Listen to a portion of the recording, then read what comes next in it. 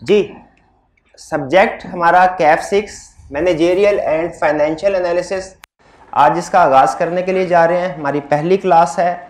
आज की क्लास में हम कोई कंसेप्ट जो हमारे सिलेबस में इंक्लूडेड है, उनको डिस्कस नहीं करने जा रहे। बेसिकली ये एक तरह से ओरिएंटेशन क्लास है, जिसमें टीचर का इंट्रोडक्शन होगा सब्जेक्ट का इंट्रोडक्शन होगा, और हम कुछ मेथडोलॉजी डिस्कस करेंगे कि किस तरीके से हमने इस सब्जेक्ट को लेके चलना है, इस कोर्स को लेके आगे चलना है।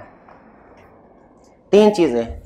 टीचर इंट्रोडक्शन दूसरी चीज़ सब्जेक्ट का इंट्रोडक्शन और तीसरी चीज़ मेथड मेथडोलॉजी का मतलब क्या है कि हमारे जो डेली लेक्चर्स हुआ करेंगे, वो किस तरीक़ाकार से हुआ करेंगे। ठीक है? क्या मेथड हम ऑप्ट करेंगे? उसके बारे में डिस्कशन होगी।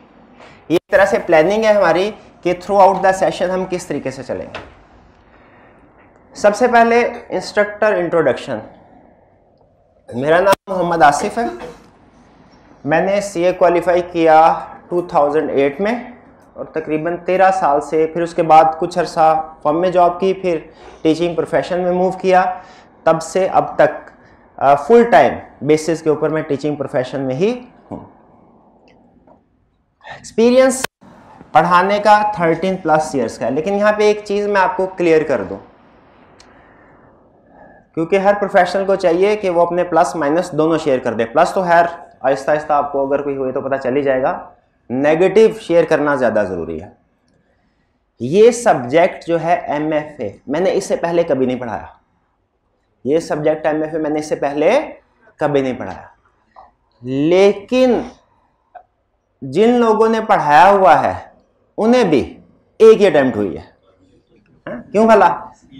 स्कीम चेंज लेकिन जो पुरानी स्कीम में सीफेप लेवल पे पढ़ा रहे थे, जो टीचर्स उनको इसके एक हिस्से में एज है। क्या भला?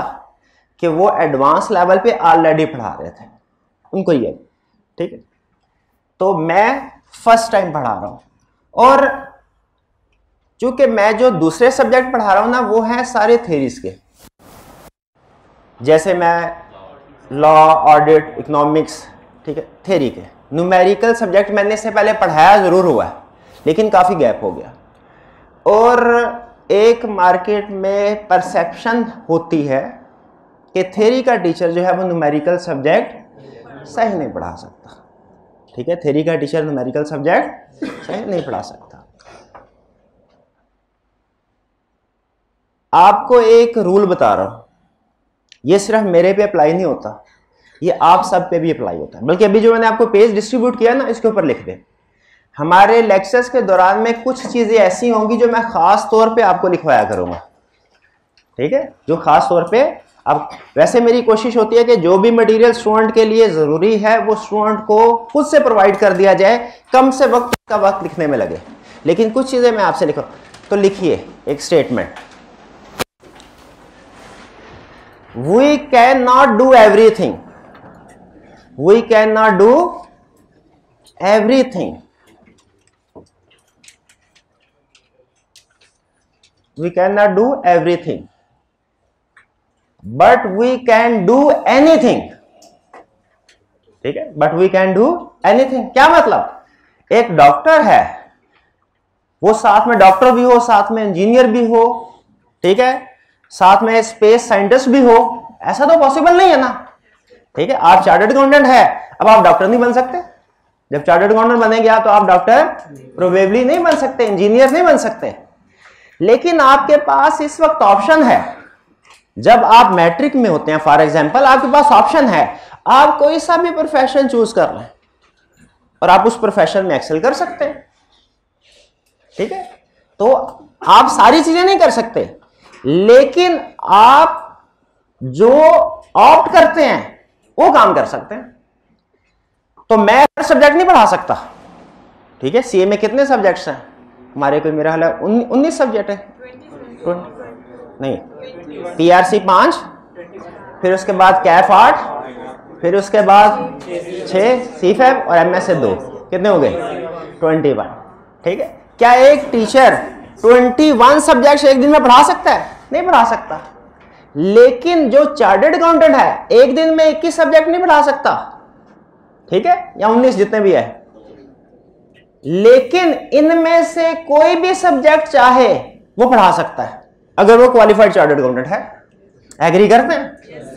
भाई, आपका क्या ख्याल है? मैंने ये सब्जेक्ट पढ़ा नहीं होगा। पढ़ाया नहीं है। लेकिन क्या पढ़ा भी नहीं है?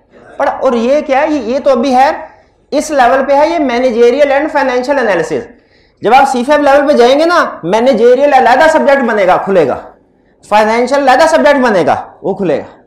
वो एडवांस लेवल पे जो इनके भी अबू जी कंसेप्ट है जो इनसे भी एडवांस लेवल पे है वो एक चार्टर्ड अकाउंटेंट जो वो पढ़ सकता है समझ सकता है। समझे पढ़े हैं समझे है, तो ही पास किए ना। ठीक है? तो क्या ये बेसिक लेवल के नहीं पढ़ा सकता? याद रखिए एक और रूल बताता हूँ आपको। शायद आप में से कोई आगे चल के कभी टीचिंग प्रोफेशन को ज्वाइन करे। तो खास तौर पे उसके लिए, वरना जनरली सबके लिए। जो टीचिंग है ना टीचिंग ये नॉलेज की गेम नहीं होती। ये कम्युनिकेशन की गेम होती है। इसमें जिसके पास जितना ज़्यादा नॉलेज होता है ना स्टूडेंट को समटाइम उससे समझ मुश्किल से आती है, क्योंकि ऊपर लेवल के ऊपर डिस्कशन कर रहा होता है। इसमें जो बंदा स्टूडेंट लेवल पे आके स्टूडेंट के माइंड से सोचना शुरू हो गया ना, वो एक्सेल कर जाता है। तो यहाँ पे याद रखे जिसका नॉलेज ज़्यादा है, हो सकता है सक्सेसफुल ना हो। लेकिन कम्युनिकेशन स्किल जिसकी अच्छी है, वो सक्सेसफुल होता है इस प्रोफेशन में। तो याद रखिए, मैंने पढ़ाया नहीं, लेकिन कॉन्फिडेंट रहे, पढ़ा हुआ है। इससे एडवांस कंसेप्ट पढ़े हुए हैं। और इंशाल्लाह मुझे पूरी उम्मीद है कि समझा भी सकता हूँ। बाकी समझा पाता हूँ कि नहीं, यही आगे साबित होगा। बहरहाल, ये क्लियर हो गया। अच्छा चलिए, अब चलते हैं हम कुछ सब्जेक्ट्स के हवाले से बात करते हैं। तो पहले कुछ बेसिक चीज़ आपके साथ डिस्कस कर लेता हूँ। स्टडी मटेरियल क्या हम यूज़ करने जा रहे हैं? एक चीज़ कंफर्म होती है सीए का कोई भी पेपर है ना, उसमें जो आई कैप का स्टडी टेक्स्ट है, वो हमारे लिए सबसे अहम है। उसमें जो कंसेप्ट हैं, वो हमने करने हैं। चाहे जैसा भी कंसेप्ट हो बात कुछ कंसेप्ट ऐसे होते हैं, हमें लगता है बोंगे से कंसेप्ट है। लेकिन जो कि सिलेबस में है और आई कैप उनमें से क्वेश्चन पूछ सकता है, करवाते हैं। और कोई कंसेप्ट चाहे जितना मर्ज़ी अच्छा हो, सिलेबस में नहीं, आई कैप की बुक में नहीं, वो हमने नहीं करना। तो हमारा जो कोर स्टडी मटेरियल होगा, वो क्या होगा?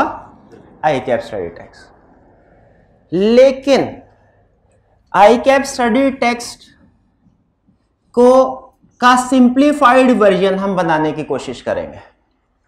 ठीक है? यानी अलहदा से कंसेप्ट नहीं होंगे। आई कैप का जो कंसेप्ट है उसको सिंपल वर्ड्स में कन्वर्ट करने की कोशिश करेंगे। फिर आई कैप ने हो सकता है तीन चार कंसेप्ट समझा के एक बड़ा क्वेश्चन दे दिया एंड पे, कि भाई ये कर लो, समझ आ जाएगी।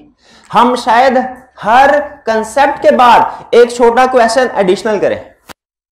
ठीक है? ताकि छोटे छोटे कंसेप्ट जैसे जैसे हम सीखते जाएँ साथ साथ प्रैक्टिस होती जाए, उसके बाद जब तीन चार कंसेप्ट इकट्ठे हो जाए, फिर एक बड़ा क्वेश्चन कर लें। तो इसीलिए हम नोट्स यूज़ करेंगे। आप अगर चाहें तो आई कैप की बुक बिल्कुल ले सकते हैं, उसको रीड भी कर सकते हैं साथ साथ मैं आपको रेफरेंस बताता जाऊँगा। आज हमने जो कंसर्ट पढ़ा आई कैप की बुक के किस चैप्टर में किस जगह भी मौजूद है। अगर आप उसको रीड करना चाहें तो कर सकते हैं। लेकिन अगर क्लास में कोई ऐसा स्टूडेंट है, जो कि आई कैप की बुक को कभी भी नहीं खोल के देखता पूरे सेशन में तो ये मेरी ज़िम्मेदारी है। इसके बावजूद उसे आई कैप की बुक में एक एक कंसेप्ट मौजूद है, वो मैंने कवर करवाना। ठीक है? आप खुद से अगर चेक करने के लिए या एक एडिशनल प्रैक्टिस के तौर पे रीड करना चाहें, कर सकते हैं। रिक्वायर्ड नहीं है। ठीक है? रिक्वायर्ड करना चाहें, कर सकते हैं। आपको नोट्स प्रोवाइड अच्छा इस सेशन में इस सब्जेक्ट की बुक नहीं आएगी। ठीक है? इस सेशन में आपको क्लास नोट्स दिए जाएँगे, वो बेसिकली चैप्टर वाइज होगा। ठीक है? जैसे ही कोई चैप्टर हम स्टार्ट करेंगे, जैसे कल इंशाल्लाह पहला चैप्टर स्टार्ट करेंगे हम तो उसके नोट्स आपको क्लास में प्रोवाइड कर दिए जाएँगे। क्लियर होगी ये चीज़? आप आई कैप की बुक भी यूज़ कर सकते हैं, लेकिन आई कैप की बुक का ही सिंप्लीफाइड वर्जन आपको नोट्स की शक्ल में वन बाय वन करके प्रोवाइड करना ये मेरी ज़िम्मेदारी है। और आई कैप की बुक के जितने भी क्वेश्चंस हैं, उनमें जितने कंसेप्ट हैं, वो कवर करवाना मेरी ज़िम्मेदारी है। ठीक है? लेकिन याद रखें ऐसा पॉसिबल नहीं होगा कि हर क्वेश्चन हम क्लास में प्रैक्टिस करें। ठीक है? ऐसा होगा कि कोई कंसेप्ट है, उसका एक क्वेश्चन मैंने क्लास में प्रैक्टिस करवा दिया, दो क्वेश्चन आपको मैंने होम असाइनमेंट के तौर पे दे दिए। फिर अगले दिन उन दो क्वेश्चंस को हमने डिस्कस कर लिया कि इसमें क्या क्या प्रॉब्लम है। और कुछ एडिशनल मटेरियल भी आपको, कुछ एडिशनल क्वेश्चन भी प्रोवाइड करूँगा। हमारे नंबर ऑफ़ लेक्चर्स कितने होंगे? अप्रोक्सीमेटली 90 लेक्चर्स होंगे। कोर्स कब कंप्लीट होगा? हमारा थर्टी जुलाई ट्वेंटी इसमें थोड़ी बहुत कमी बेशी हो सकती है, दो चार दिन की, इससे ज़्यादा नहीं होगी। यानी ऐसा नहीं होगा कि मैं आपको एग्ज़ाम से एक हफ़्ता या दो हफ़्ते पहले बुला रहा हूँ कि ये कंसेप्ट हमने करना है। नहीं, वो आपने रिवीजन के लिए, आखिरी महीना आपकी रिवीजन के लिए। ठीक है स्टूडेंट बार बार एंड पे जाके क्वेश्चन पूछते हैं, इसलिए मैंने स्टार्ट में आपके साथ शेयर कर दिया। अब चलते हैं सब्जेक्ट की तरफ़। देखिए टीचर का इंट्रोडक्शन तो इसलिए ज़रूरी होता है ना, ताकि आपको पता हो भाई आप जिससे पढ़ने जा रहे हैं, वो आपको पढ़ाने के काबिल है भी कि नहीं। ठीक है? इसके साथ ही साथ सब्जेक्ट का इंट्रोडक्शन भी ज़रूरी है। सब्जेक्ट का इंट्रोडक्शन भी ज़रूरी है। पहले इस सब्जेक्ट अच्छा अब ये जिस स्टूडेंट ने अच्छे तरीके से समझ लिया ना, वो इस सब्जेक्ट को ऊपर से समझ लेगा। एक होती है मैनेजमेंट में एक अप्रोच होती है बॉटम अप अप्रोच एक होती है top down approach top down approach क्या होता है? पहले चीज़ों को ब्रॉड लेवल पे देखें, फिर उसके बाद डिटेल लेवल पे देखें. ठीक है? बाजुकात ऐसा होता है कैलकुलेशन हम इतनी करते हैं कैलकुलेशन में एक्सपर्ट हो जाते हैं. लेकिन वो कैलकुलेशन किस मकसद के लिए की जा रही है, ये पता ही नहीं होता. भाई कॉस्ट ऑफ़ कैपिटल का भाई एक्सपर्ट हो गया, उसने पचास क्वेश्चन कर लिए. लेकिन कॉस्ट ऑफ़ कैपिटल का मकसद क्या है?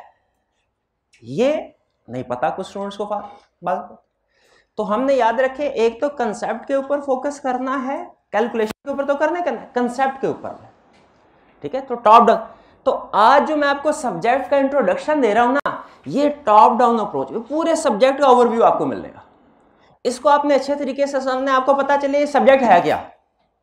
क्या ये काउंटिंग है? क्या ये इकोनॉमिक्स है? क्या ये लॉ ये किससे मिलता जुलता है? ठीक है? इसको किस तरीके से हमने तैयार करना है? पेपर कैसा आएगा? ठीक है, ये सारी चीज़ें हम डिस्कस करने अटेंटिव होकर बैठी।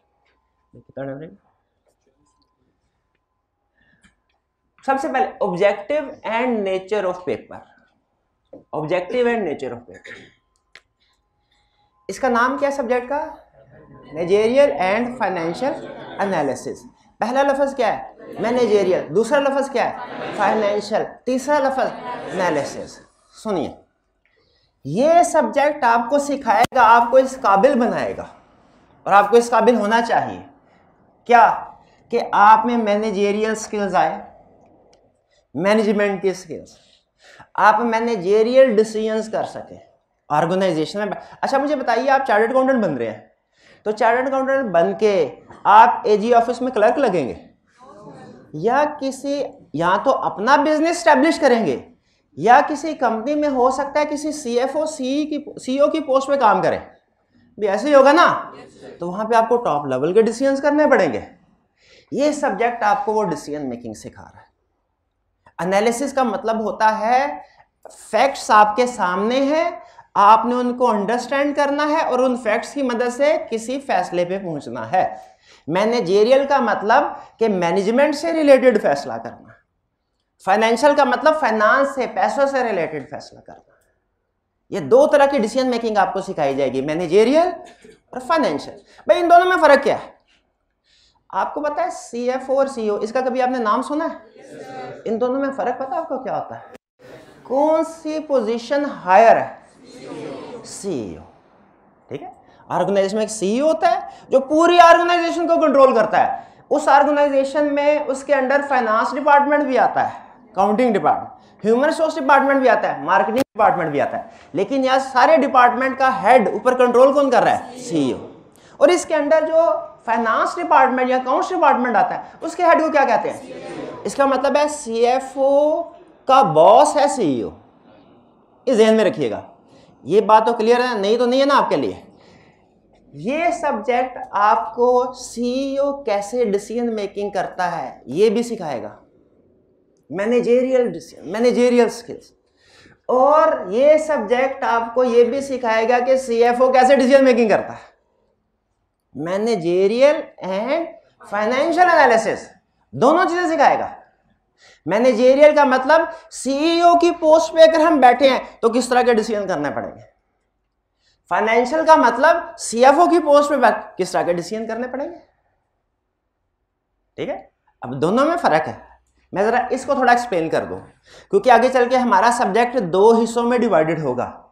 एक होगा मैनेजेरियल एनालिसिस एक होगा फाइनेंशियल एनालिसिस तो आपको पता हो कि दोनों में किस तरह के टॉपिक्स होंगे? किस तरह के टॉपिक्स क्या ये नहीं बता रहा। टॉपिक्स किस तरह के ये बता रहा। सीएफओ जब डिसीज़न मेकिंग करता है ना, याद रखिए, वो सिर्फ़ अमाउंट्स की बेस पे फाइनेंस की बेस पे, पैसों की बेस पे करता है। लेकिन सीईओ जब डिसीज़न मेकिंग करता है ना, वो सिर्फ़ इकोनॉमिक्स फाइनेंस को नहीं देखता, सिर्फ़ पैसों को नहीं देखता। और भी बहुत से फैक्टर्स को कंसीडर करता है। Political factor social factor technological factor legal factors इन सारे फैक्टर्स को सामने रखता है सीईओ जबकि सीएफओ सिर्फ़ फाइनेंशियल फैक्टर्स को सामने रखता है।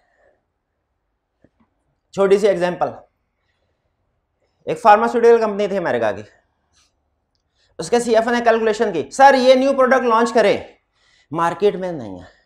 प्राइस हम अपनी मर्ज़ी की चार्ज करेंगे। हाई प्राइस ठीक है? पेटेंट्स करवाएँगे मैन्युफैक्चरिंग करेंगे प्रॉफिट ही प्रॉफिट होगा। सीएफओ ने सारी वर्किंग करी सीएफओ का काम है ना? फिजिबिलिटी रिपोर्ट बनती है। उसमें यही होता है ना कि आइंदा आने, अगर हम ये प्रोडक्ट बनाते हैं आइंदा आने वाले सालों में ये हर साल में कितनी सेल होगी, इसकी कॉस्ट ऑफ़ सेल्स कितनी होगी और प्रॉफिट कितना होगा। ये सारा बजट बना के सीएफओ सीईओ के सामने रख देता है। रख। क्या सीईओ आपके ख्याल में फ़ौरन ओके कर देगा? नहीं, अगर ऐसे सीएफओ के हर फैसले को सीईओ ने ओके करना होता तो उसकी पोस्ट की ज़रूरत ही क्या थी? सीईओ सिर्फ़ फाइनेंशियल फैक्टर्स नहीं देखता। वो टेक्नोलॉजिकल फैक्टर भी देखता है, वो legal factor political factor social factors भी देखता है। जैसे उसने कहा, ये प्रोडक्ट तो अच्छी है, लेकिन मैंने ना साइंटिस्ट की रिसर्च रिपोर्ट भी पढ़ी है एस मैंने साइंटिस्ट की रिसर्च रिपोर्ट भी पढ़ी है जो तुमने नहीं पढ़ी। साइंटिस्ट ये कहते हैं, ये प्रोडक्ट ये दवाई, ये मेडिसिन इस मर्ज का तो इलाज कर देगी, लेकिन इसके साथ साथ इसके दूसरे साइड इफेक्ट्स भी हैं। इसके साथ दूसरे साइड इफेक्ट्स भी हैं। चलो साइड इफेक्ट्स फिर सीईओ ने सोचा। अब आपने मुझे बताना सही फैसला किया कि नहीं? सीईओ ने सोचा। कि चलो साइड इफेक्ट्स हैं साइड इफेक्ट्स हम कोई कंपेन चला देंगे कि साइड इफ़ेक्ट हमारी प्रोडक्ट की वजह से नहीं, किसी और वजह से और इसको लॉन्च कर दिया। क्या सीईओ ने सही फैसला किया? अब देखिए सीएफओ अपनी जॉब के पॉइंट ऑफ़ व्यू से सीएफओ ने कैलकुलेशन सही की। लेकिन सीईओ ने गलत फैक्ट जब प्रोडक्ट मार्केट में आई दो, डेढ़, दो साल के बाद साइड इफेक्ट्स आना शुरू हुए, उसके ऊपर रिसर्च हुई तो पता चला कि इस प्रोडक्ट के फॉल्ट की वजह से। और मुझे ये बताइए कि पाकिस्तान का लीगल इन्वायरमेंट ज़्यादा स्ट्रांग है कि यूएसए का? यूएसए का। उन्होंने पाकिस्तान में होता तो शायद वो कोई ले दे के कहते, चलो, मामला निपटाओ। देखा आपने देखा, पाकिस्तान में भी एक एग्ज़ाम्पल आपने शायद सुनी होगी। वो एक सिरप था, कुछ मजदूर जो थे, उन्होंने वो सिरप इस्तेमाल किया खांसी का, और वो मर गए। लेकिन उसके बाद बात आई गई होगी कि वो तो नशे किस्म के लोग थे, इसलिए उन्होंने नशा ज़्यादा कर लिया था, मिला के तो इसलिए मर गए। ख़त्म खाने अगर शायद अमेरिका में ये इवेंट होता तो उसका लाइसेंस कैंसिल हो जाता कंपनी का। तो चूँकि वो लीगल सिस्टम स्ट्रॉन्ग था, वहाँ पे पेशेंट्स ने केस फ़ाइल कर दिया। गवर्नमेंट ने उस प्रोडक्ट की सेल को बंद कर दिया। सारी जो इन्वेंट्री थी उसको डिस्ट्रॉय कर दिया। ये है सीईओ की जॉब ये सीईओ फेलियर की एग्जांपल दी मैंने आपको। ठीक है कि उसने उसकी रिस्पॉन्सिबिलिटी थी कि सारे फैक्टर्स को सामने रख के डिसीज़न करता। नहीं क्या। सिर्फ़ फाइनेंस नहीं ज़रूरी। मैनेजमेंट भी ज़रूरी है। मैनेजेरियल और इसमें मैनेजेरियल डिसीज़न में क्या क्या फैक्टर हमने कंसीडर करने हैं? पॉलिटिकल भी सोशल भी इकोनॉमिक भी लीगल भी। दूसरी एग्जांपल सुने? आपने मैकडोनल्ड का बीफ बर्गर कभी खाया? है ना? कोई बात नहीं। इसका मतलब आपको अच्छे दोस्त नहीं मिले ज़िंदगी में। पाकिस्तान में चलता है? पूरी दुनिया में चलता है। सीएफओ ने कहा कैलकुलेशन करके, सर, पाकिस्तान तो छोटी मार्केट है, इसमें इतना प्रॉफिट कमा लेते हैं। इंडिया में जाए, इससे पाँच गुना बड़ी मार्केट है, कई गुना ज़्यादा प्रॉफिट कमाएँगे। वहाँ पे गए सीईओ ने कहा, ओके। वहाँ पे गए प्रोडक्ट पिट गई। ठप हो गई। क्यों? सीईओ ने कंप्लीट फैक्टर्स को कंसीडर नहीं किया। ठीक, उसने सोशल फैक्टर्स को इग्नोर कर दिया। वहाँ की सोशल नॉर्म है ना? अरे भाई, गौ माता हमें काट के खिला रहे हो। बंद करो इसको। फिर उन्होंने, जो पूरी दुनिया में तो नहीं, पूरी दुनिया में तो शायद नहीं प्रोडक्ट सेल करते। फिर इंडिया के लिए उन्होंने प्रोडक्ट देखें सीईओ का यही काम है कि सारे फैक्टर को कंसीडर करें। और बिज़नेस पॉइंट ऑफ़ व्यू से अगर किसी एक कंट्री में कुछ फैक्टर्स रेलिवेंट नहीं है तो उसके लिहाज से फिर प्रोडक्ट को लॉन्च करें, अपने डिसीज़न चेंज करें। वहाँ पे फिर आलू महाराज स्टार्ट किया। वो चल गया। ये है सीईओ का सीईओ और सीएफओ के काम में फ़र्क समझ आ रहा है आपको? हमने इस सब्जेक्ट में क्या सीखना है? सीईओ की स्किल्स भी सीएफओ के स्किल्स में। और किसके, किसका एनालिसिस ज़्यादा वाइड है? फाइनेंशियल एनालिसिस भी मैनेजर भी। मैनेजर लेकिन हम चूँकि चार्टर्ड अकाउंटेंट हैं, और हमें अकाउंटिंग ज़्यादा पसंद है तो हमारा फोकस ज़्यादा किसके ऊपर होता है? फाइनेंशियल और होगा भी, इस सब्जेक्ट में होगा भी। अब ये नहीं है कि अगर मैं थेरी का एक्सपर्ट तो इसी को भुगताता जाऊँ। नहीं। हमने एनालिसिस किया है कि पेपर में क्वेश्चन कैसे करता है, किस टॉपिक में से कैसे पूछता है। उस लिहाज से ज़ाहिर है आई कैप जिस तरीके से हमें लेके चलेगा, हम उसी तरीके से लेके जाएँगे। लेकिन पहले मुझे ये बताइए, आपको पता चल गया कि इस पेपर में हम सीखने क्या जा रहे हैं? मैनेजेरियल इसका नाम है ना? मैनेजेरियल एंड फाइनेंशियल एनालिसिस दोनों चीज़ें सीखेंगे। आगे चलते हैं। पेपर की ग्रेड क्या है? ग्रेड पहले दिन किस लिए बता रहा हूँ? आपको पता हो ये पेपर आएगा कैसा? कौन से हिस्से में से ज़्यादा क्वेश्चन आएँगे, कौन से हिस्से में से कम आएँगे? एमसीक्यूज आएँगे कि नहीं आएँगे? ताकि उस लिहाज से आप प्रिपरेशन करें। तो हमारे पेपर के दो सेक्शन होंगे, दो हिस्से होंगे। एक होगा मैनेजेरियल एनालिसिस एक होगा फाइनेंशियल मैनेजेरियल एनालिसिस होगा 35 टू 45 मार्क्स और फाइनेंशियल एनालिसिस होगा 50 टू 70 एवरेज आउट कर दे तकरीबन, समझ लीजिए, इसकी 40 परसेंट वेटेज है पेपर के पेपर में। इसकी 60 परसेंट है। फाइनेंशियल एनालिसिस इसका मतलब क्या हुआ? हमें अपने सेशन का ज़्यादा हिस्सा किसके ऊपर फोकस करना है? लेकिन ये नहीं कि इसको इग्नोर कर देना। इसको इग्नोर कर देना। ठीक है? मुझे पर्सनली ये ज़्यादा इंटरेस्टिंग लगता है। लेकिन अपने इंटरेस्ट की वजह से मैं आपका सब्जेक्ट कंप्रोमाइज़ नहीं करवाऊँगा। ठीक है? इसको 40 परसेंट वेटेज देंगे इसको 60 परसेंट वेटेज देंगे। चलिए आगे चलते हैं। पेपर का स्ट्रक्चर क्या होगा? पेपर के दो सेक्शन होंगे। लिखा होगा बाकायदा। सेक्शन ए कुछ क्वेश्चन फिर नीचे क्या लिखा होगा? सेक्शन बी सेक्शन ए किससे रिलेट करेगा? मैनेजरियल और सेक्शन बी फाइनेंशियल एनालिसिस है अच्छा किस वाले सेक्शन में ज़्यादा मार्क्स के क्वेश्चन होंगे? शाबाश फाइनेंशियल एनालिसिस में। मैनेजेरियल एनालिसिस में एक ऐसी चीज़ होगी जो फाइनेंशियल एनालिसिस में नहीं है। एमसीक्यू आप में से कितने स्टूडेंट्स ने इकोनॉमिक्स पढ़ी हुई है? इकोनॉमिक्स एग्ज़ाम नहीं, पढ़ी हुई है? शाबाश। आपको याद होगा इकोनॉमिक्स में भी दो सेक्शन होते थे। एक सेक्शन है और सेक्शन बी सेक्शन होता था माइक्रो सेक्शन बी होता था माइक्रो और माइक्रो में एमसीक्यूज होते थे और मैक्रो में नहीं होते थे। लेकिन एक इंटरेस्टिंग चीज़ थी, क्या मैक्रो के टॉपिक से रिलेटेड जो एमसीक्यूज होते थे, वो माइक्रो वाले सेक्शन में उसने डाले होते थे। याद है कि नहीं याद ये हाइब्रिड वाले, आप मुझे बताइए, आप में से कितने स्टूडेंट्स ने इकोनॉमिक्स पढ़ी है हाथ उठाइए जरा। शाबाश, तकरीबन सबने। तो ये भाई जिन्होंने बाद में हाथ उठाया हाइब्रिड में, इनकी दूसरी दफ़ा में पास हुई थी क्या? उन्होंने सोच के उन्होंने कहा चले कोई नहीं अच्छा दो हिस्से मैनेजेरियल फाइनेंशियल मैनेजेरियल तकरीबन समय फोर्टी फाइव के लगभग जिसमें पंद्रह मार्क्स के एमसीक्यूज भी होंगे और एमसीक्यूज में मैनेजेरियल फाइनेंशियल दोनों टॉपिक्स आएँगे और फिर फाइनेंशियल जिसमें तकरीबन फिफ्टी फाइव ऑप्शन कोई नहीं है एज यूजल आई कैप के किसी पेपर में ऑप्शन होती है ना? यूनिवर्सिटी का पेपर देने जाए आठ में से कोई से पाँच सवाल करे। और वहीं पे एक अप्रोच डेवलप होती है सिलेक्टिव स्टडीज़ की। आई कैप सिलेक्टिव स्टडी को लाइक करता है कि डिसलाइक इसी वजह से आई कैप के तकरीबन किसी भी इकोनॉमिक्स में हुआ करते हैं शायद। वरना किसी भी, अब तो वो भी नहीं। अब तो MCQ base CB base paper हो गया। किसी भी पेपर में आपको ऑप्शन नहीं मिलती। क्यों नहीं मिलती? इसकी रीजन है। आई कैप सिलेक्टिव स्टडी नहीं करवाना चाहता आपसे। पंद्रह नंबर के एमसीक्यूज होंगे जो पूरे सिलेबस में से होंगे। पूरे सिलेबस क्या क्या हम हमारा फाइनेंशियल मैनेजेरियल दोनों में से।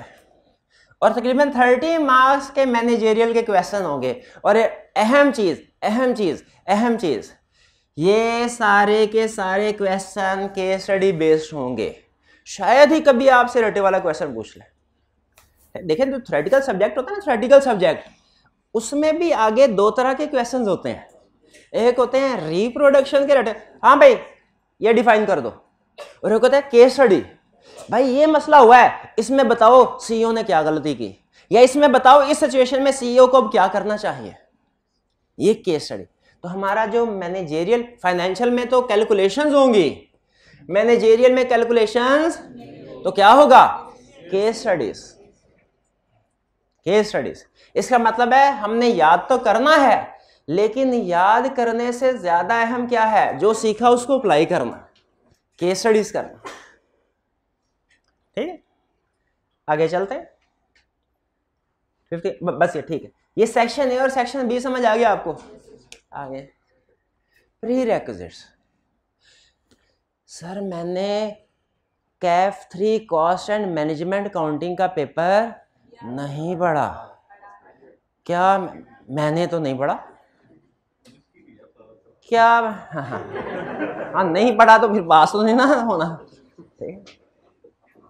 क्या मैं एमएफए का पेपर पढ़ सकता हूँ? इसका जवाब है क्यों नहीं? क्यों नहीं?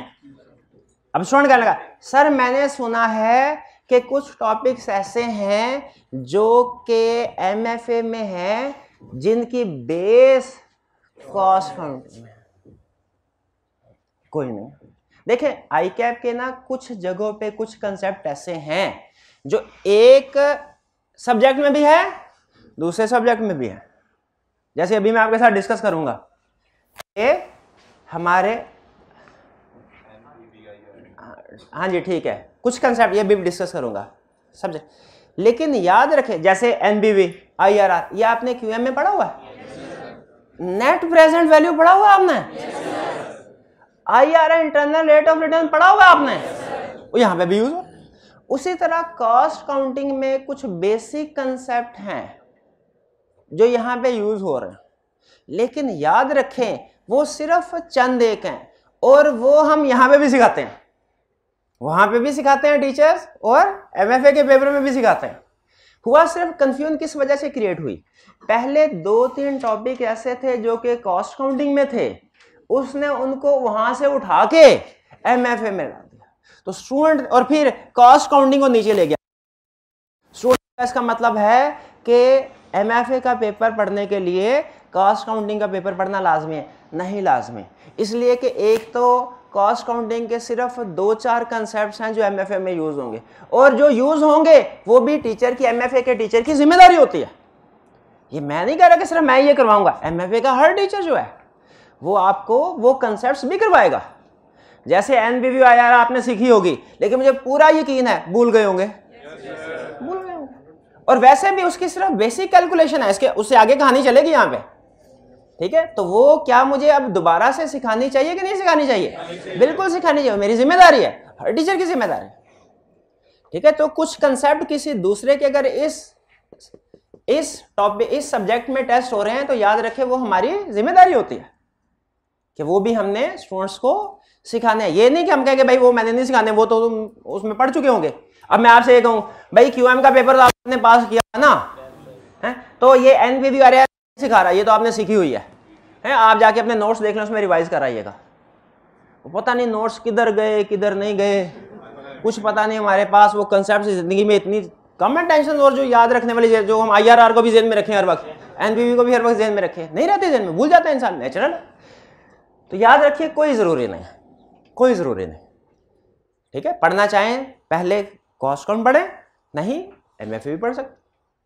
ठीक है, कोई इसमें जो भी कंसेप्ट यूज़ होंगे, वो चाहे अकाउंटिंग के कंसेप्ट हो, वो चाहे इकोनॉमिक्स के कंसेप्ट हो, वो चाहे लॉ के कंसेप्ट हो, वो चाहे कॉस्ट के कंसेप्ट हो, इस सब्जेक्ट में कोई भी कंसेप्ट अगर इंक्लूडेड है, वो चाहे किसी दूसरे सब्जेक्ट में दस दफ़ा सिखाया गया हो, वो मेरी ज़िम्मेदारी है, मैंने आपको कवर करवाना है। ठीक है? इसीलिए ज़रूरी नहीं है। कम अज़ कम मैं ये ज़िम्मेदारी ले रहा हूँ, बाकी टीचर्स भी ये ज़िम्मेदारी लेते होते तो ये कंसेप्ट गलत है। क्या कंसेप्ट गलत है? कि ए पढ़ने के लिए कॉस्ट पढ़ना ज़रूरी है, ये कंसेप्ट गलत है। हाँ ये कुछ कंसेप्ट आपके साथ शेयर कर रहा हूँ। अगर ये कंसेप्ट आपने पढ़े हुए हैं तो जब मैं पढ़ाऊँगा, आपको आसानी हो जाएगी। ये वो कंसेप्ट हैं जो अगर आपने पढ़े हैं और याद है, याद नहीं है, चले, थोड़ा बहुत अंडरस्टैंडिंग है। तो जब हम इनको क्लास में डिस्कस कर रहे होंगे तो आपको याद आना भूल गए हैं आप। लेकिन जब चीज़ डिस्कस होगी ना, आपको याद आना पड़ी पड़ी सी है। हाँ ये तो हमने पढ़ा था। कौन कौन से कंसेप्ट हैं? मुझे बताइए इकोनॉमिक्स पढ़ी आपने? उसमें इकोनॉमिक्स इंडिकेटर्स होते थे। आपका लीडिंग लैगिंग अजीबो गरीब से होते थे हाँ? वो यहाँ पे भी है। इन्फ्लेशन पढ़ी इकोनॉमिक्स में? yes, इस सब्जेक्ट में भी है। अनएम्प्लॉयमेंट पढ़े इस सब्जेक्ट में भी है। बैलेंस ऑफ़ पेमेंट पढ़ा? yes, सब्जेक्ट में भी है। अच्छा जरा मुझे सोच के बता सकते हैं क्यों है इस सब्जेक्ट में? इकोनॉमिक्स में तो पढ़ दिया था हम्म, हमने जब डिसीज़न मेकिंग करनी होगी यूएसए में बैठे हैं हाँ भाई इंडिया में बांग्लादेश में पाकिस्तान में कहाँ पे फैक्ट्री खोले? कहाँ पे चीप लेबर होगी? जहाँ पे अनएम्प्लॉयमेंट ज़्यादा है, वहाँ पे चीप लेबर अवेलेबल होगी। भाई, वहाँ पे फैक्ट्री खोले ठीक है? तो ये फैक्टर्स हमारे फाइनेंशियल एनालिसिस के लिए रेलिवेंट है। मैनेजेरियल एनालिसिस में भी काम आते हैं। वेरियस टाइप्स ऑफ़ क्या सीईओ ने लीगल एस्पेक्ट्स देखने हैं किसी भी कंट्री के जहाँ पे वो काम करने जा रहे हैं? तो उसे पता होना चाहिए कि कंपनी से रिलेटेड कौन कौन से लॉज हैं। कौन कौन से लॉज हैं जो बिज़नेस पे इफ़ेक्ट करते हैं? पता होना चाहिए कि नहीं पता होना चाहिए? ठीक है, जैसे एक अहम लॉ जो एस सीईओ आपको पता होना चाहिए वो है एम्प्लॉयमेंट रिलेटेड लॉस क्या आप किसी एम्प्लॉय को रख तो लेते हैं, लेकिन आपको पता है आप जिस एम्प्लॉय को चाहे रख सकते हैं, अपनी मर्ज़ी से, लेकिन उसे अपनी मर्ज़ी से निकाल नहीं सकते। लेकिन याद रखिए, पाकिस्तान में ये रूल नहीं है। पाकिस्तान में तो खड़े खड़े निकाल देते हैं। सेठ कल्चर है ना नॉर्मली खड़े खड़े निकाल लेकिन डेवलप कंट्रीज़ में एम्प्लॉयज़ राइट्स होते हैं। अगर आप एम्प्लॉयज़ को बगैर किसी रीजन के निकालें, वो आपके खिलाफ केस फ़ाइल कर दें हैवी पेनल्टी पे करना पड़ती है। तो हमें एम्प्लॉयमेंट लॉ ये भी लीग और भी कुछ दूसरे लॉज जैसे इन्वायरमेंटल लॉस क्योंकि अगर आप इन्वायरमेंट को डिस्टर्ब करेंगे अपनी मैन्युफैक्चरिंग से तो गवर्नमेंट आपके खिलाफ एक्शन ले सकती है। इसका मतलब है, इस सब्जेक्ट में इकोनॉमिक्स भी आएगी थोड़ी सी, इसमें लॉ भी आएगा इसमें आईटी से रिलेटेड कंसेप्ट भी आएँगे। आपने कुछ आईटी से रिलेटेड कंसेप्ट कंट्रोल पढ़े आईटी सिस्टम क्या होते हैं? कंट्रोल पासवर्ड वगैरह। पासवर्ड के बारे में? हाँ। अच्छे पासवर्ड की क्या खसूसियात हैं? और इस तरह से रिलेटेड चीज़ें। कंट्रोल्स कंट्रोल्स के बारे में पढ़ा? कहाँ पे पढ़ा? आईटी में? जिन स्टूडेंट्स ने एएफसी पास की हुई है, उन्होंने शायद ये आईटी के सब्जेक्ट में पढ़ा होगा। लेकिन जिन्होंने पीआरसी के बाद जो आने वाले, वो ये आई टू बी में पढ़ रहे होंगे। ठीक है? ये सब्जेक्ट मेन मीडियन मोड सुना हुआ है? हाइपोथेसिस टेस्टिंग ये भी सुना हुआ है? कहाँ? स्टैट में। यहाँ पे। अच्छा जरा गैस कीजिए। चले मैं बाद में पूछूँगा आपसे। ये पढ़ा था आपने? भूल गए हैं? कोई फ़िक्र की बात नहीं। कोई फ़िक्र की बात नहीं। ये हम दोबारा डिस्कस करेंगे यहाँ पे। यानी यहाँ पे आप स्टैट भी पढ़ रहे होंगे। लेकिन याद रखिए सिर्फ़ कैलकुलेशन नहीं, उसके बाद डिसीज़न मेकिंग भी। स्टैट में आपको सिर्फ़ कैलकुलेशन सिखाई थी। यहाँ पे कैलकुलेशन के बाद अगली से उसकी बेस पे डिसीज़न क्या लेना है? Sources of business finance business finance क्या होता है? पैसा। बिज़नेस के लिए पैसा कहाँ से आएगा? ये कहीं पढ़ा है आपने? आप लोन ले सकते हैं। आप कंपनी के शेयर इशू कर सकते हैं। ये दो बात बड़ी हाँ, वो तो वही तो है। अच्छा ये लॉ में पढ़ा है। ये लॉ में पढ़ा है। वैसे ये अभी मैं रिसर्च सिलेबस देख रहा था आपका ये आई टू बी में था। आई टू बी लॉ में हम इनडायरेक्टली पढ़ते हैं उसकी लीगल इम्प्लीकेशन लॉ में भी था। ये शायद एक पुराने जमाने की इकोनॉमिक्स में भी था। आर वन में भी है। बस वो इधर भी है। यानी अरे एम एफ़ एम में भी है ठीक है? तो आर वन में भी है। तो फिर मुझे ये बताइए, इसका मतलब तो ये हुआ एम एफ़ ए पढ़ने के लिए आर वन पढ़ना ज़रूरी है। क्यों? आर वन का कंसेप्ट इधर आ रहा है। और बाकी टीचर भी पढ़ाएँगे, बाकी टीचर भी पढ़ाएँगे। आगे चलते हैं। Calculation of net present value and I R R F में? क्यू एम हाँ। क्यू एम में लेकिन वहाँ पे यहाँ पे हम दोबारा से, क्योंकि भूल चुके होंगे। अच्छा आप मुझे ये बताइए, ये सारी चीज़ें आपने सीख लें। इनमें से मुझे कोई से दो चीज़ें बता दीजिए, जो हमारे मैनेजेरियल एनालिसिस वाले पोर्शन में होंगे। लॉस शाबाश। इकोनॉमिक शाबाश, बिल्कुल ठीक, बेहतरीन बेहतरीन।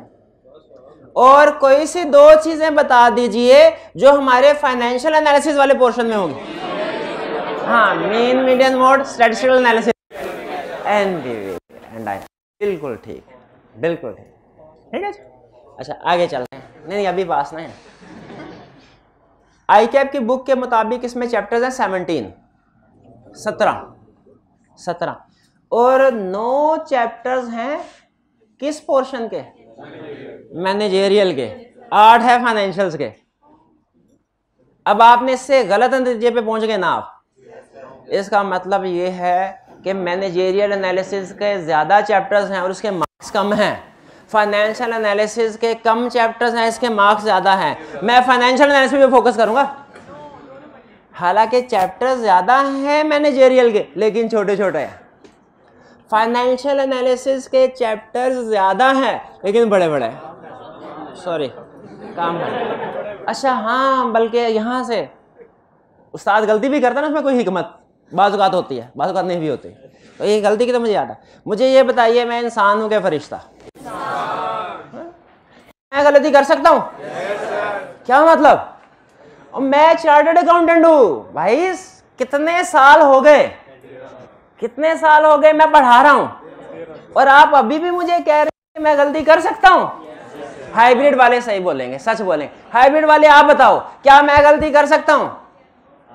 भाई कैसे अच्छा। इनका भी यही ख्याल है। अच्छा। ये इधर कोई माइक लेके बैठे हुए हैं? जरा मैं पूछा हाँ। ये जरा बताइएगा ये एक आपके करीब जो भाई है इनसे जरा मेरी बात करवाएँ। हाँ जी। भाई बताइए क्या मैं गलती कर सकता हूँ? कह रहे नहीं सर शाबाश। मेरी प्रिडिक्शन है आप जिस कंपनी में भी जाएँगे बहुत तरक्की करेंगे। बहुत तरक्की करेंगे तरक्की का राज यही होता है सीनियर को खुश रखना। भाई, गलती कर सकता हूँ मैं, यही समझा। गलती कर सकता हूँ मैं। जो गलती नहीं करता, वो तो इंसान ही नहीं, इंसान हूँ ना, गलती कर सकता हूँ। अच्छा मुझे ये बताइए, गलती कर सकता हूँ? अच्छा अकाउंटेंट कौन है? जो गलती ही ना करे, या जो गलती करे और फिर मान ले? मान ले। तो भाई, मैंने पहले आपको बता दिया कि मैं पहली दफ़ा ये सब्जेक्ट पढ़ा। बहुत से टीचर दूसरी दफ़ा पढ़ा रहे होंगे, लेकिन मैं पहली दफ़ा पढ़ा रहा हूँ। क्या मैं इसमें गलती कर सकता हूँ? बिल्कुल। मैं अपना होमवर्क करके आऊँगा और कोशिश करूँगा गलती ना हो। लेकिन अगर कभी कोई गलती हुई जो हो सकती है, इंसान गलती हो सकती है। मुझे कोई शर्म नहीं है सबके सामने खड़े होकर ये कहने में कि जो मैंने कल ये कंसर्ट पढ़ाया था, इसमें ये चीज़ गलत थी, इसको ठीक कर ले। मुझे कोई शर्म नहीं। ठीक है? आप में से कुछ स्टूडेंट होंगे जो ये कहेंगे, यार, सर ने जानबूझ के गलत पढ़ाया। है, कहेंगे? सर को तो आता ही नहीं है सब्जेक्ट। सर का आता मैं ठीक है, नहीं आता तो नहीं। लेकिन क्या इसका ये मतलब मैं सीख ही नहीं सकता? ये सीख सकता हूँ। सीख सकते चला सीख ही आऊँगा। हाँ ये बात, आप हाथ पक्का करना है। बिल्कुल बिल्कुल हाथ पक्का करना है। लेकिन आप बेफिक्र हैं, आप अपने किसी दोस्त के साथ जो किसी दूसरे टीचर से पढ़ा और शेयर करते रहें डिस्कस करते रहें, आपको इंशाल्लाह महसूस हो जाएगा आपकी तैयारी जो है वो किस लेवल पे जा रही है। हाँ तो ये अच्छी बात थी। ये कहाँ से बात निकली थी? गलती चैप्टर से हाँ। तो मैनेजेरियल कितना टाइम रह गया? दस मिनट। मैनेजेरियल के चैप्टर्स हैं, ज़्यादा? लेकिन छोटे हैं। फाइनेंशियल एनालिसिस के चैप्टर्स हैं, कम। लेकिन बड़े हैं। अच्छा रीज़न बताइए, दिमाग लड़ाइए। फाइनेंशियल एनालिसिस के चैप्टर्स क्यों बड़े हैं? मैनेजेरियल एनालिसिस के चैप्टर क्यों मार्क्स ज़्यादा नहीं। कंसेप्ट ज़्यादा नहीं। कंसेप्ट मज़े की बात कंसेप्ट हो सकता है कम हो। प्रैक्टिस ज़्यादा है क्वेश्चंस हैं। क्वेश्चन के साथ समझाना ना? क्वेश्चंस के साथ समझाना। ठीक है? तो इसीलिए उसमें देखें कंसेप्ट चलिए वो जब शुरू करेंगे, फिर सीखेंगे उसको। फिर फिर आपको बताऊँगा। ये आपको फ़र्क समझ आ गया? तो मैनेजरियल के चैप्टर ज़्यादा है, लेकिन मार्क्स काम। हाँ छोटे छोटे चैप्टर्स छोटे चैप्टर्स ये भी हो गया। हाँ। अब इसके बाद। एंड पे आते हैं। पहले मैनेजेरियल एनालिसिस स्टार्ट करेंगे फाइनेंशियल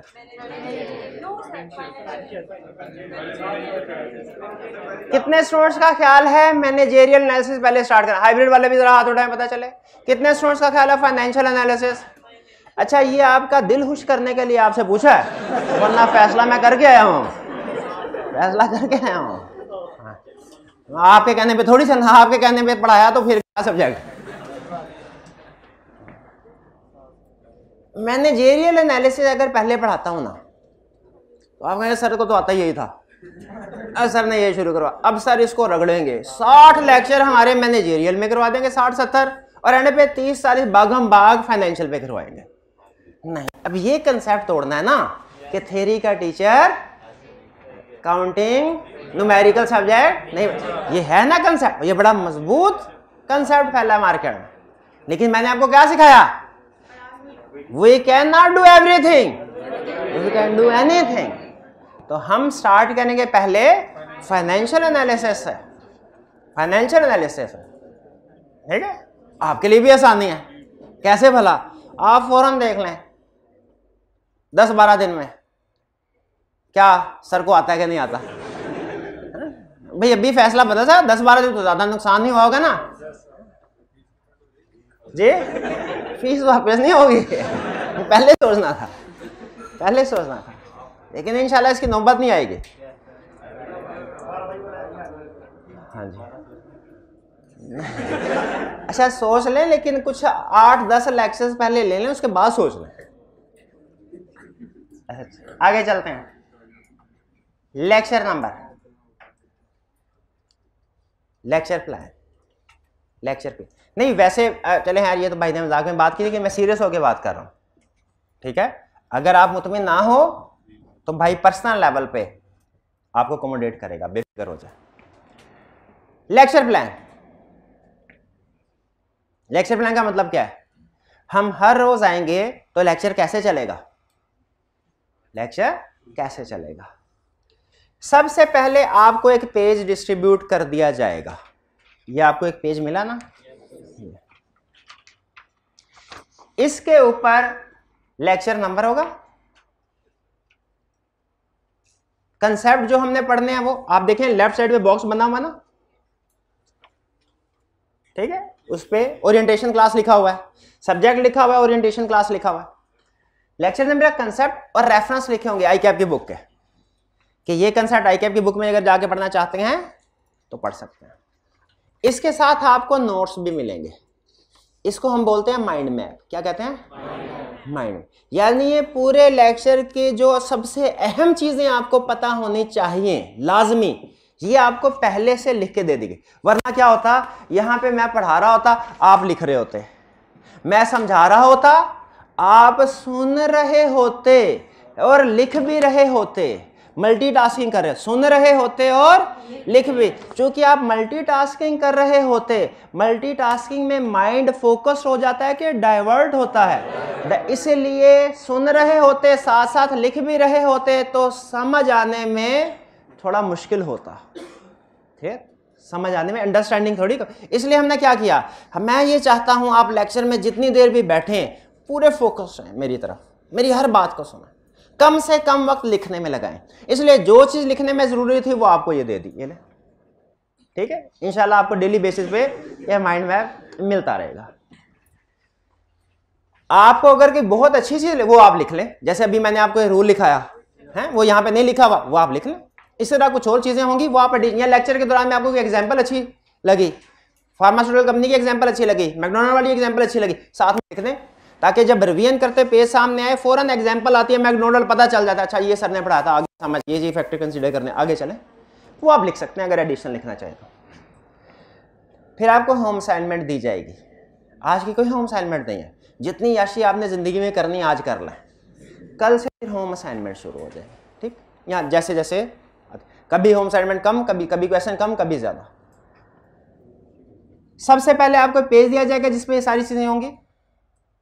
फिर उसके बाद हम कंसेप्ट डिस्कस करेंगे। ठीक है? जैसे भी मैं आपके साथ डिस्कशन कर रहा हूँ। कंसेप्ट डिस्कस करेंगे। लेकिन चूँकि अब हम फाइनेंशियल एनालिसिस स्टार्ट कर रहे हैं तो सिर्फ़ कंसेप्ट डिस्कस हालाँकि कंसेप्ट अहम है, लेकिन कंसेप्ट के साथ क्वेश्चन करना भी अहम है। एक होता है कंसेप्ट एक होता है क्वेश्चन दोनों में फ़र्क है।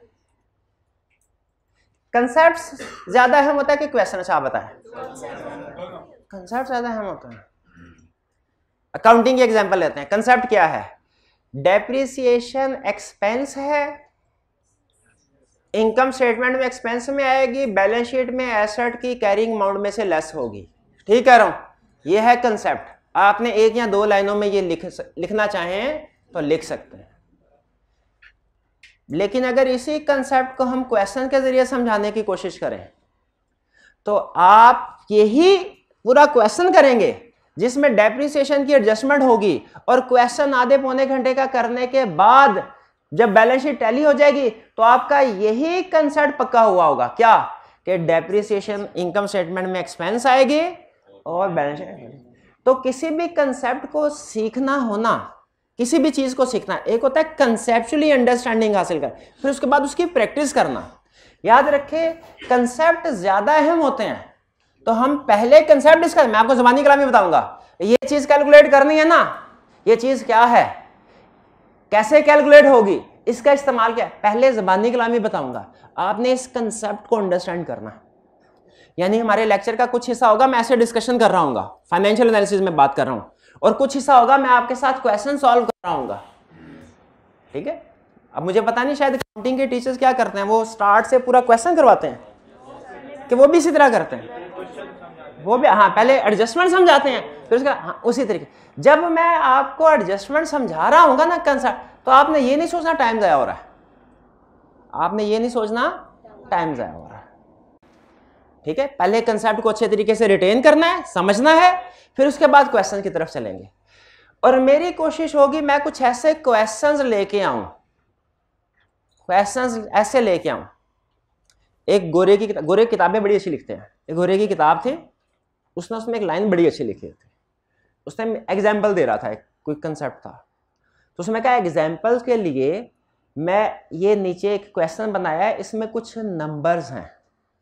और नंबर्स क्या थे? टेन ट्वेंटी फिफ्टी मैंने कहा, ये कौन सी एग्ज़ाम्पल हमारे सी में तो एग्जाम्पल्स भी जो होती हैं ना, वो होती हैं एक्सपेंस एक लाख पच्चीस हज़ार तीन सौ पैंतीस। और नीचे डेप्रिसिएशन कभी टेन फिफ्टीन परसेंट तो उसने कहा नीचे बताया उसने उसने कहा numbers are small but concept is large बाजुकात ऐसे होता है। हमारे ज़माने में कुछ, अब तुम मुझे पता नहीं आजकल के टीचर्स कैसे हैं? काउंटिंग के? हमारे ज़माने में दो तरह के टीचर्स होते थे। एक वो जो कंसेप्ट सिखाते थे ना, या यूँ समझ लीजिए, दो जब मैं स्टूडेंट था ना, दो बुक्स थी मेरे सामने काउंटिंग एक थी मुखर्जी इंडियन ऑथर था, एक था फ्रैंक वुड इंग्लिश ऑथर था। ठीक है? आपने शायद ये मुखर्जी का नाम नहीं सुना होगा। नहीं, वो नहीं। ये अमिताभ मुखर्जी था। मैं पूरा नाम बताना भूल गया। दोनों में एक ही कंसेप्ट के क्वेश्चंस थे। ये जो फ्रैंकवुड था ना, ये भी डेप्रिसिएशन समझाता था। इसके नंबर्स पता क्या होते थे? Thousand depreciation rate ten percent और यहाँ पे जो अमिताभ मुखर्जी की किताब होती थी, इसमें जो नंबर्स होते थे, वो one thousand two hundred and seventy और डेप्रिसिएशन रेट फिफ्टीन परसेंट हम नंबर्स कैलकुलेट करते करते नंबर्स में गुम हो जाते थे कंसेप्ट कहीं पीछे रह जाता था। हम एक सारा सवाल कर लेते थे, ये पता नहीं चलता था नई चीज़ सीखी क्या है। और एक नई चीज़ सीखने के लिए ना दस पुरानी चीज़ें भी साथ साथ कैलकुलेट करना पड़ती थी। आपने देखा वैसे तो हम क्या करेंगे, हम ये अप्रोच नहीं अडॉप्ट करेंगे। हम कैलकुलेशंस करेंगे ज़रूर। पहले कंसेप्ट समझेंगे, फिर सिंपल कैलकुलेशन से इसकी प्रैक्टिस करेंगे। फिर आखिरी लेवल पे जाके जब चैप्टर कंप्लीट हो जाएगा, उसके बाद आई के लेवल के बड़े बड़े क्वेश्चंस करेंगे। यानी जब सारे हमारे ब्लॉग्स कंप्लीट हो जाएँगे ना, पूरी पिक्चर बन जाएगी। फिर आपको मैं कहूँगा ये एग्ज़ाम लेवल का क्वेश्चन है, इसको सॉल्व कर। वरना पहले छोटे छोटे कंसेप्ट के साथ। ठीक है? यानी हमारे नंबर क्वेश्चंस में नंबर स्मॉल होंगे, लेकिन कंसेप्ट लार्ज होंगे। इसका फ़ायदा क्या होगा? आप आसानी के साथ और जल्दी से कंसेप्ट सीख लेंगे। कंसेप्ट की एप्लीकेशन आसानी के साथ और जल्दी सीख लेंगे। ठीक है? फिर उसके बाद हम एंड में जाके पास पेपर एग्ज़ाम लेवल पे भी जाएँगे। ये नहीं कि छोटे छोटे कंसेप्ट लाके आपको निपटा दूँगा। क्योंकि ज़ाहिर है अल्टीमेट ऑब्जेक्टिव तो एग्ज़ाम लेवल का क्वेश्चन करना ना, वो ज़ाहिर मुश्किल होता है। वो भी करेंगे, लेकिन पहले इस तरीके से चलेंगे ठीक है, फिर आपने कोई क्वेश्चन पूछना होगा एंड पे। आप क्वेश्चन पूछ सकते हैं। और प्रैक्टिस क्वेश्चन मैंने आपको बताया कंसेप्ट के एंड पे क्वेश्चन की प्रैक्टिस किया करें। ये हमारा तरीकाकार होगा। इसमें कोई क्वेश्चन पूछना चाहते हो तो पूछ सकते हैं। जी। पास पेपर्स करेंगे तो पास पेपर तो सिर्फ़ इसके एक पेपर होगा तो वो एक दफ़ा कर लेंगे, वो तो आ जाएगा तो दोबारा कैसे प्रैक्टिस करेंगे? पास पेपर की प्रैक्टिस का क्वेश्चन है, सर, एक हमारे पास है इसका मॉडल पेपर और एक है जो लेटेस्ट अटेम्प्ट का पेपर है, और दोनों का सोल्यूशन भी अवेलेबल नहीं, अभी तक अवेलेबल तो हम प्रैक्टिस कर, अगर आप चलें, इसका सोल्यूशन दे भी दें तो हम बाकी की प्रैक्टिस कैसे करेंगे? ये तो दो साल आप समझा देंगे हमने एडिशनल प्रैक्टिस करना है। याद रखिए एम एफ़ कैफ में नया है, दुनिया में नया नहीं है। एम एफ़ ए कैफ में नया है, दुनिया में। आपको बताया ना, इसका एक अबू जी लेवल भी है सी फैप लेवल है, वहाँ से उठाएँगे।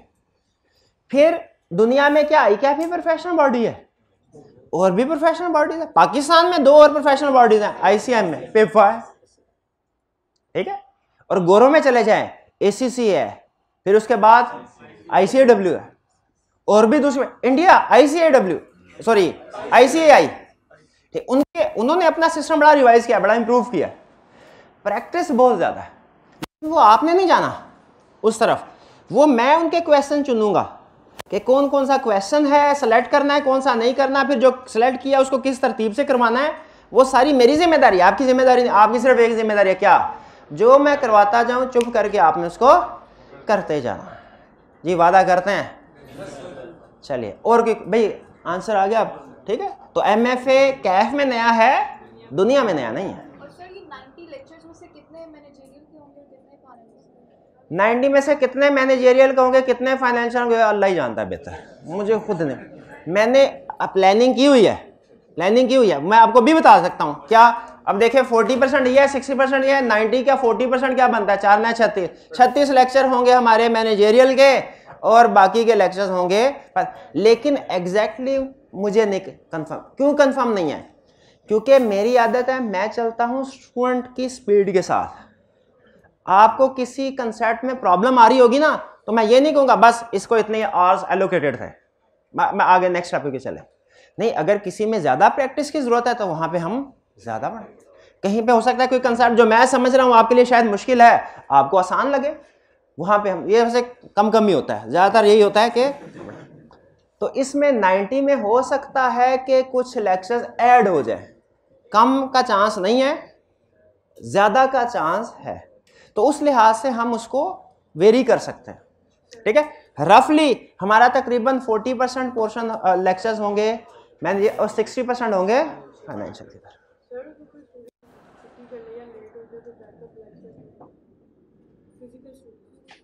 अगर कोई फ़िज़िकल स्टूडेंट छुट्टी कर ले, या कोई प्रॉब्लम भी हो जाती है, ज़ाहिर है।